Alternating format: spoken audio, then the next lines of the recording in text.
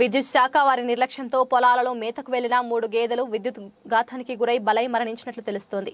కొమరోలు మండలంలో చోటు చేసుకుంది. ప్రకాశం జిల్లా కొమరోలు మండలం చింతలపల్లె పంచాయతీ పరిధిలో కురిసిన గాలివానకు కసినపల్లె గ్రామం వెలుపల పొలాల్లో విద్యుత్ స్తంభం నెలకొరిగింది.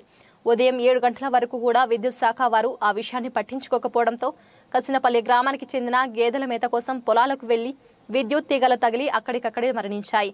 కసినేపల్లి గ్రామానికి చెందిన కలవకుంట్ల మోక్షరాణి అనే ఆమెకు గేదె మరియు పల్లె నీలమ్మకు చెందిన మరో గేదె ఇంకోటి గోహరపల్లికి రైతుది కాగా గుర్తించారు. ఈ సందర్భంగా గేదెల యజమానులు విద్యుత్ శాఖ అధికారులపై ఆగ్రహం వ్యక్తం చేశారు. ముందు రోజు రాత్రి విద్యుత్ స్తంభం పడిపోతే లైన్మెన్ కూడా రాలేదని ఈ రోజు ఉదయం విద్యుత్ స్తంభం పడిపోయిన విషయాన్ని కొంతమంది విద్యుత్ శాఖ వారికి తెలిపిన నిర్లక్ష్యంతో కరెంట్ అలాగే ఉంచారని వారి నిర్లక్ష్యంతోనే గేదెలు మరణించాయని మహిళలు ఆగ్రహం వ్యక్తం చేశారు.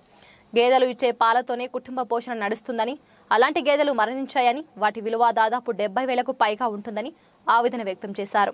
ఈ విద్యుత్ ప్రమాదం నుంచి విద్యుత్ శాఖ వారే బాధ్యత తీసుకుని తమకు నష్టపరిహారం చెల్లించాలని వారు కోరుతున్నారు.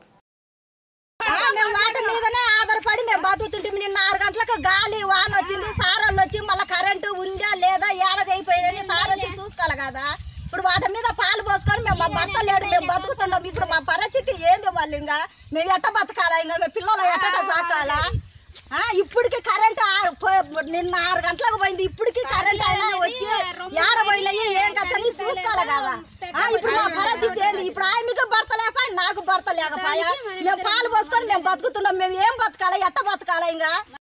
మాది కచ్చనపల్లె ప్రకాశం జిల్లా మాకు ఇదే ఆధారం. మమ్మల్ని పట్టించుకోలేదు కరెంట్ వాళ్ళు ఇది డెబ్బై వేలు మేము బర్రగొడ్డు మాకు భర్త కానీ చనిపోయింది దీని మీదనే మేము ఆధారం ఉండ దోపిడీ దొంగలు రెచ్చిపోయి